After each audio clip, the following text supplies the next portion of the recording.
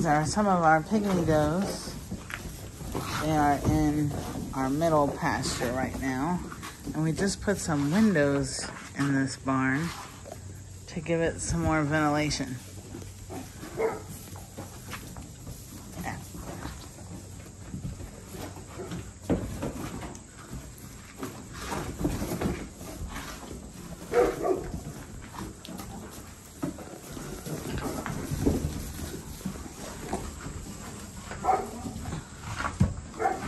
Just so you can see how it was built.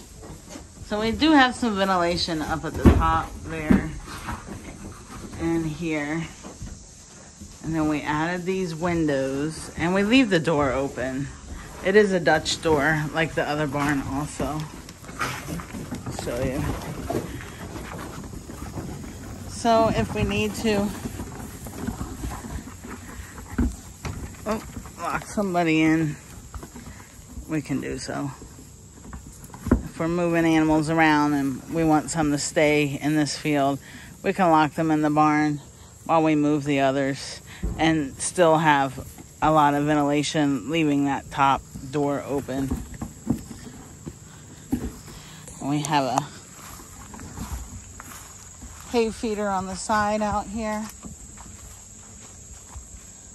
This is a really cool little barn because the animals can go underneath it as well. Because we do live on a hillside, so there are some challenges, but there's some cool things about it, you know. It's nice that they can get a little, lot of shade down there and camp out.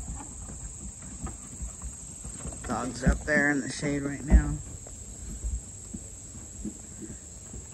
Is our middle pasture and it has some silvopasture, some trees, and forage. But then it also has a good bit of pasture, which is just mixed grass.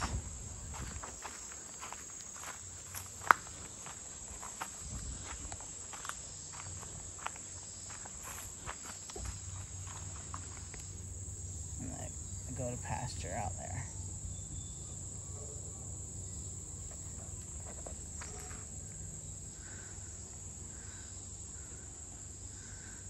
So this is our middle pasture barn.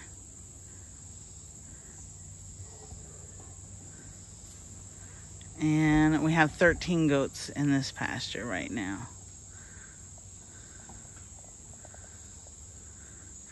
Um, if you have any questions, feel free to leave them in the comments and I'll try to get them answered for you. Our livestock guardian dogs are Great Pyrenees. Hey, hey. And they do an excellent job keeping the goats safe.